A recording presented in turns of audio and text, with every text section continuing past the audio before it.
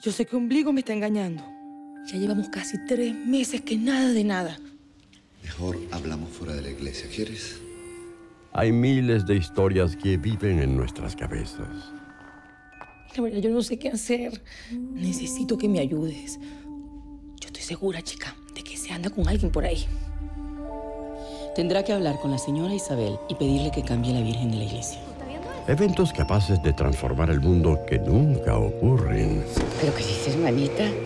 Hay deseos buenos y malos.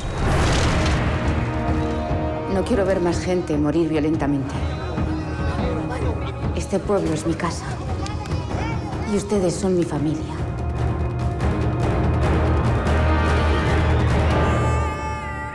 Y que Dios la mantenga en su gloria. Que no se cumplen. ¿Qué pasaría si todos tus sueños se hiciesen realidad? Este pueblo cada vez se pone más raro. Lo que pasa es que esa Virgen concede todos los favores que se le piden, señor Isabel. Todo es como de borrachos. Ay, profesor, usted se inventa. Pero ten cuidado con lo que dice. Tápese las orejas, niñito, vamos.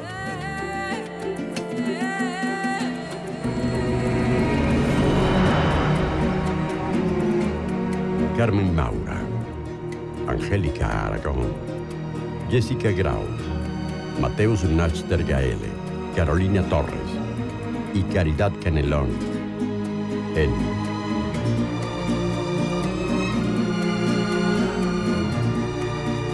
La Virgen Negra.